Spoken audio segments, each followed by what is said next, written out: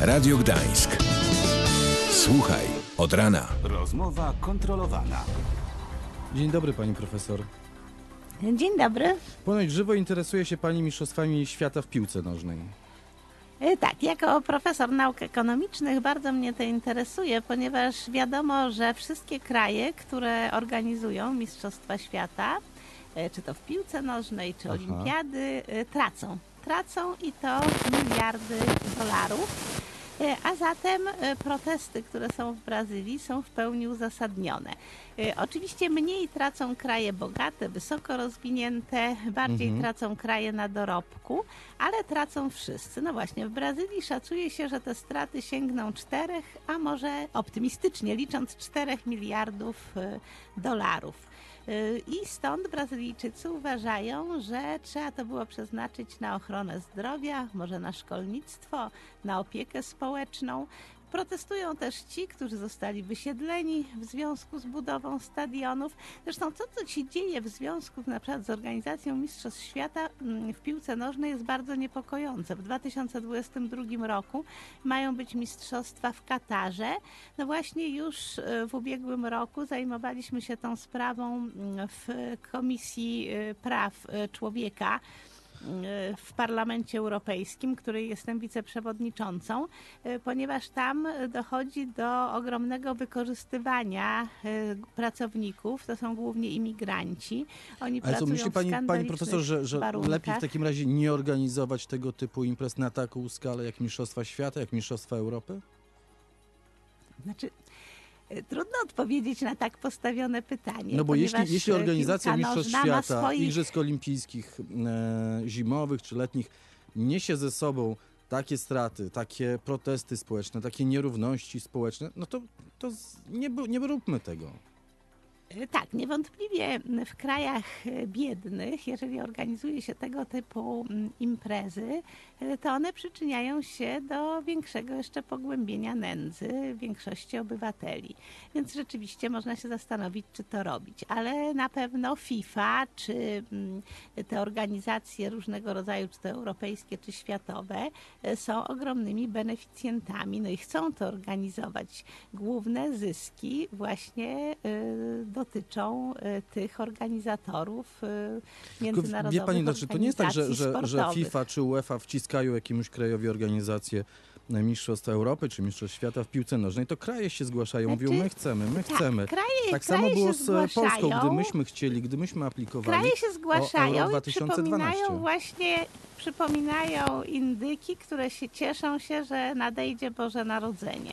I chcą, żeby jak najszybciej Boże Narodzenie już nadeszło, żeby były zarżnięte i upieczone. Mm, Kraje liczą na duże zyski i absolutnie nie chcą wierzyć w to, co mówią ekonomiści, że tych zysków nie będzie. E, Również nie sprawdzają się szacunki dotyczące przyjazdu turystów. Dobrze, pani Jedynym profesor, a takim- spójrzmy na doświadczenia e, Gdańska czy Krakowa, z którego pani teraz e, mówi. Organizowaliśmy Euro 2012. Ja pamiętam dokładnie to samo, co pani mówi teraz o Brazylii.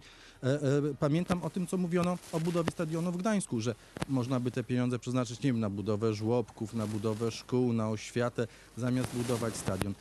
Jak pani ocenia doświadczenia Euro 2012 z perspektywy dwóch lat, które minęły od tej To imprezy? znaczy, no akurat Kraków się nie załapał na organizację, natomiast y, oczywiście no, te stadiony są niewykorzystane, stadiony nie przynoszą y, dochodów, które powinny przynosić, zostały przeskalowane, są za wielkie. Myśmy nie skorzystali z doświadczeń na przykład Portugalii, gdzie było wiadomo, że y, stadiony powinny być troszeczkę budowane tak jak klocki Lego, że powiedzmy one są na kilkadziesiąt tysięcy osób, ale można część zdemontować bardzo łatwo i już będą tylko powiedzmy na 20 czy na 15 tysięcy osób.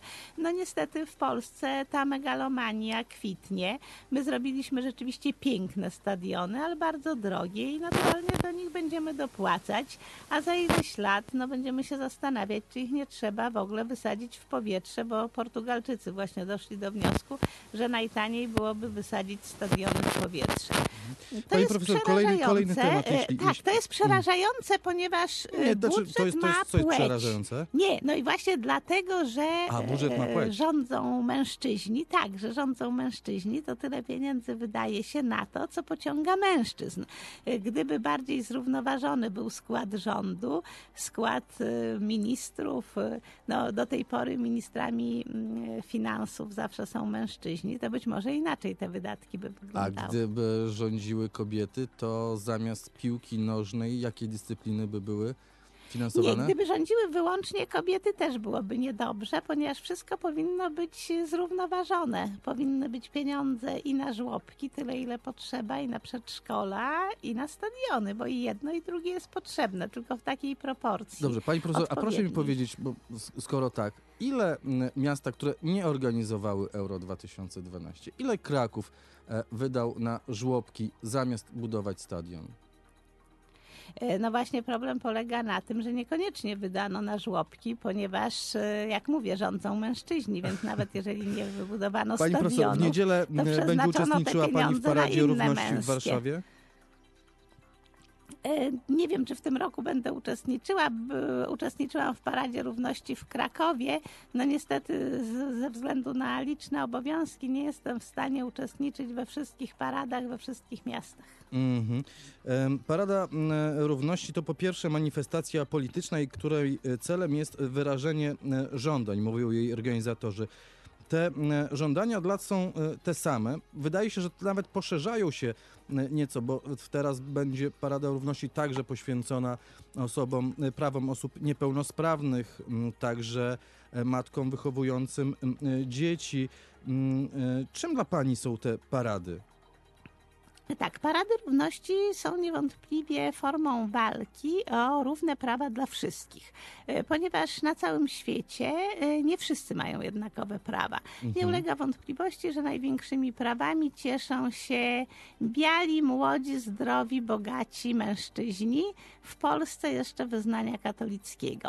E, Natomiast kobiety są dyskryminowane, osoby niepełnosprawne są dyskryminowane, innych w Polsce wyznań niż katolickie są dyskryminowane, są dyskryminowani ateiści, dyskryminowane są osoby homoseksualne i właściwie e, innych narodowości, e, grupy etniczne są dyskryminowane.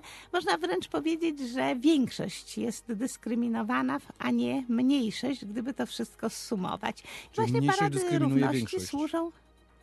E, No tak.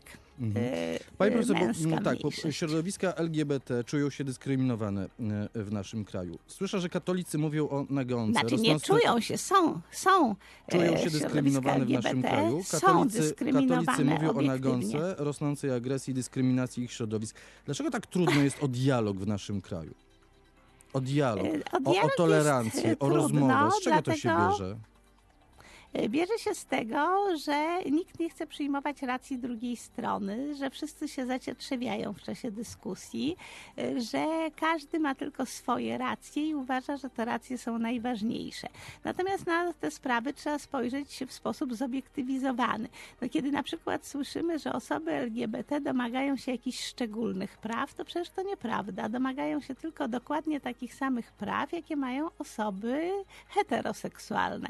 Osoby hetero- heteroseksualne mają możliwość zawierania związków y, małżeńskich. No to osoby homoseksualne chcą mieć możliwość zawierania związków partnerskich, no bo jaka to będzie nazwa, to wszystko jedno. U nas jest taki sprzeciw wobec sformułowania małżeńskich. Przecież nie chcą jakichś nadzwyczajnych praw innych niż mają inni ludzie.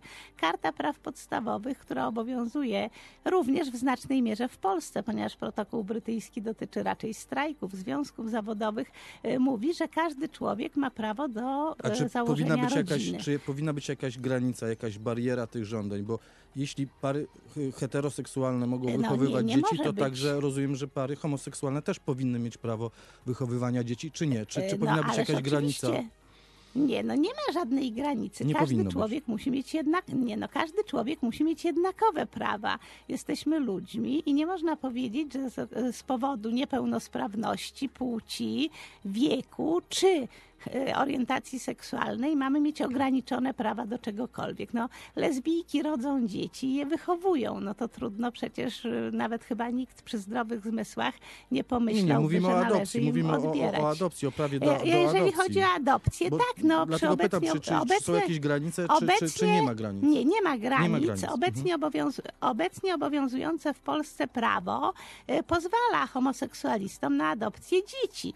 I gdyby w prawie znalazł się zapis, że homoseksualiści nie mogą adoptować dzieci, e, to takie prawo byłoby sprzeczne z konstytucją, więc takiego zapisu nie ma, co oznacza, że mogą adoptować.